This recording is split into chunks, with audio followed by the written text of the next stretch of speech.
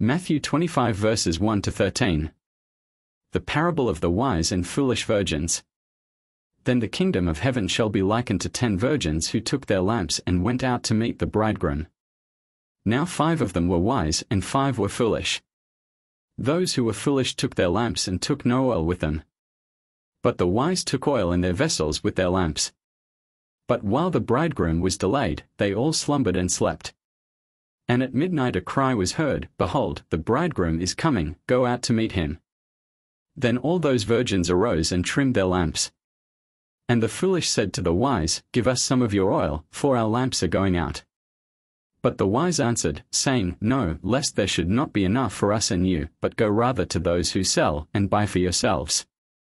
And while they went to buy, the bridegroom came, and those who were ready went in with him to the wedding, and the door was shut. Afterward the other virgins came also, saying, Lord, Lord, open to us. But he answered and said, Assuredly, I say to you, I do not know you.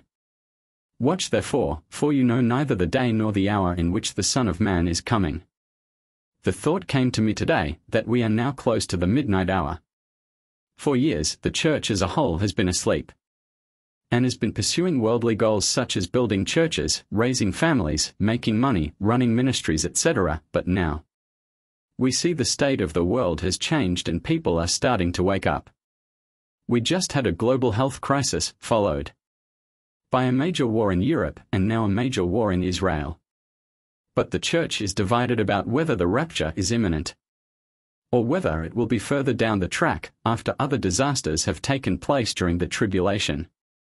The only reason there is this division is that one group, characterized by the five wise virgins, knows how to listen to what the Spirit is saying through the prophetic scriptures, and the other group does not. One group has the unction and the anointing to understand and are enlightened by that, the other has no light and is asking the enlightened group to teach them to share their anointing. I see this all the time in the comments section, people asking to be spoon fed about where the rapture is in the Bible instead of going to read the Bible for themselves. This is because they read the Bible but can't understand it as they don't have the Spirit of God.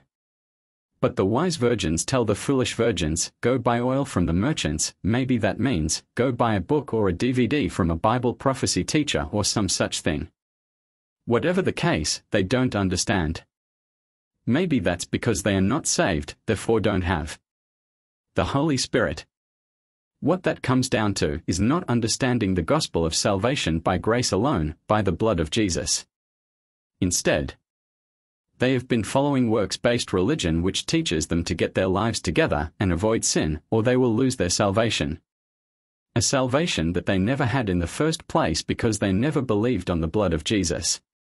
If the blood of Jesus covers you for your past sins and you happen to sin again in a moment of weakness or blindness, is Jesus going to say, Sorry, you had your chance, you're done now? No, of course not, and this is scriptural 1 John 1 verse 9 teaches us clearly, if we confess our sins, he is faithful and just to forgive us our sins and to cleanse us from all unrighteousness. I'll leave you with that thought today. If you never understood the gospel before today, go before God today and pray in the name of Jesus to be cleansed from all your sins, past, present, and future, and get ready to be raptured when the time comes.